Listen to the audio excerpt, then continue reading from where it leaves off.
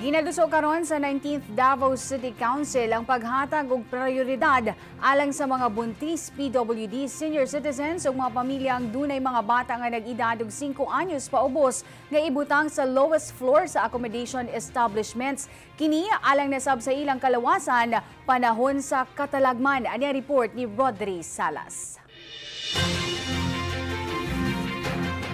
Usa ang Davao City sa mga lugar nga nakasinati sa sagunsong kusog nga linog niadtong milabay tuig din usa sa mga nagrabihan og kadanyos ang Echelon 4000 condominium.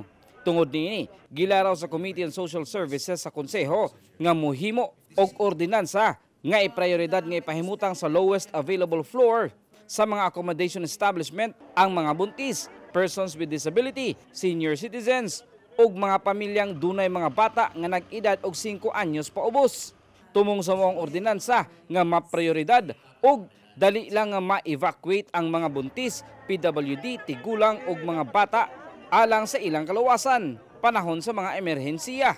President wants to ensure the safety of the said person and be given priority to stay in the first or lower floor of business establishment in this city.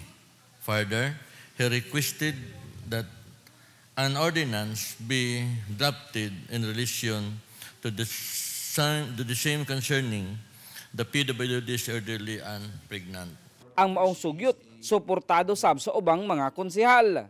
For this vulnerable sector and it is also difficult for the security sector. So I'm all for this and I'm co-sponsoring this, Your Honor. sixth floor going down. So I believe we could consider the family with uh, children.